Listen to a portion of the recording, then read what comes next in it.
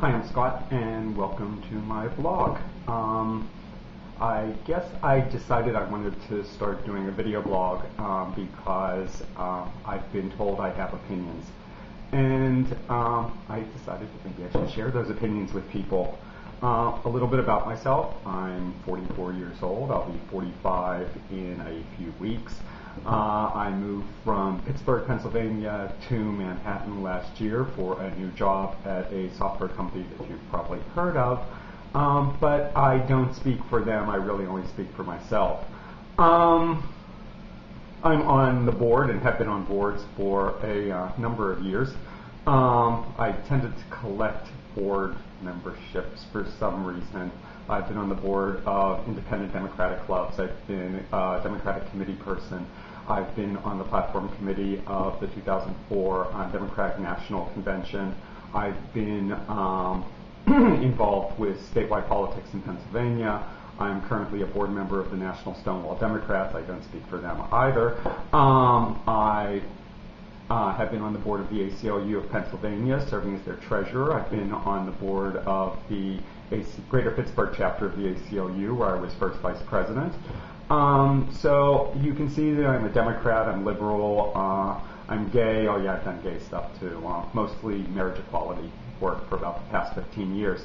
Um, so anyway, that's what who I am, and I guess I want to talk to you today about uh, some things going on in the news.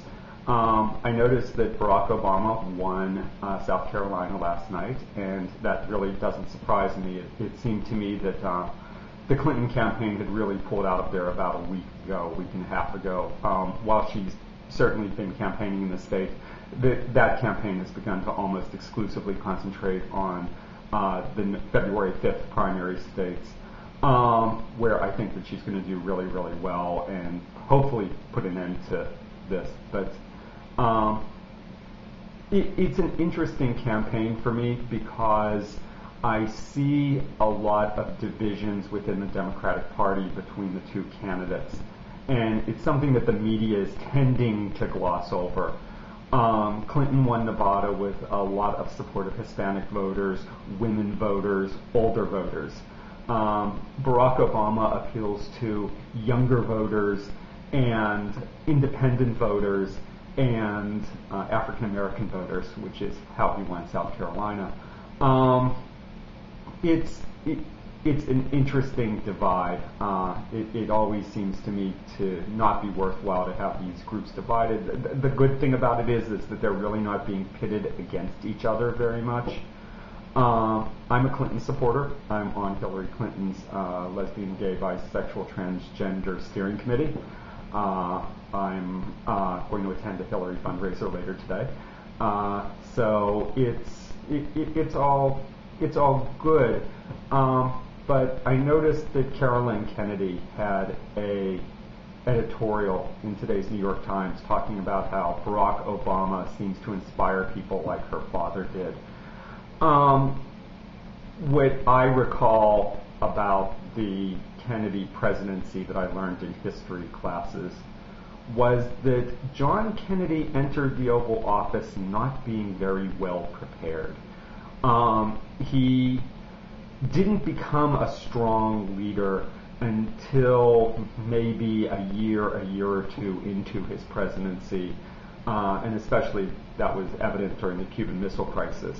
But before the Cuban Missile Crisis, there was the Bay of Pigs, which was a catastrophic failure in terms of policy and planning and an early failure in the Kennedy presidency. And while I think Barack Obama is a smart man and certainly a very articulate speaker, I don't think he's ready to lead the country from day one. Uh, I think that there would be a sharp learning curve, and I think that that's one of the big differences between Hillary and Obama. Um, if you look at what's happened over the Bush presidency, and these are just a few statistics I've gathered, uh, the gross domestic product has fallen from 4.09% in 2000 to 2.65% now. Uh, so our economy is stagnating. It's not growing as fast. Uh, the national debt has skyrocketed from $5.7 trillion to $9.2 trillion. And I recall lots of my Republican friends saying, oh, you know, the Republicans are so good on fiscal policies and stuff. Well, we're $4 trillion more in debt, dudes. Come on. Um, we have another 5 million people living in poverty that got there during the Bush presidency. Uh, we have a 9 million more people uninsured during the Bush presidency. And the median income of the average American family has fallen by $1,100. Now, I don't know that we have time to allow somebody to get their feet wet in government. Barack Obama has been in the Senate a very short time. Uh, he talks about I'm a candidate of change. Well, let me tell you, anybody that gets elected to the Senate uh, isn't that far from the establishment. Okay, they, are part of the establishment. That's not, you know, you can take the mantle of change, but it's just rhetoric.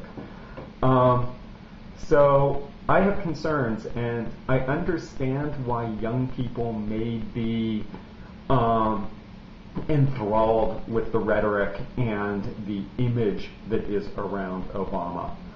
But that is also the campaign this week that complained that Hillary was beginning to play rough with them.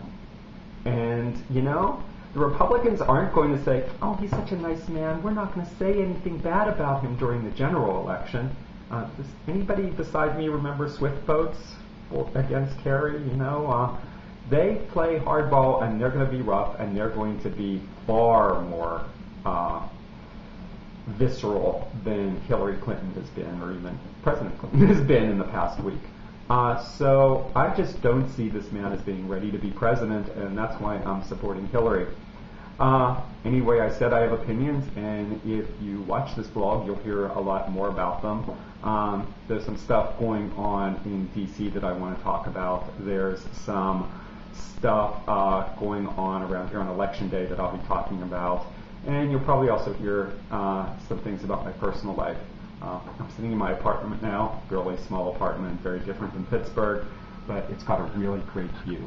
Anyway, uh, thanks for watching, and that's what I get to look out to. Bye.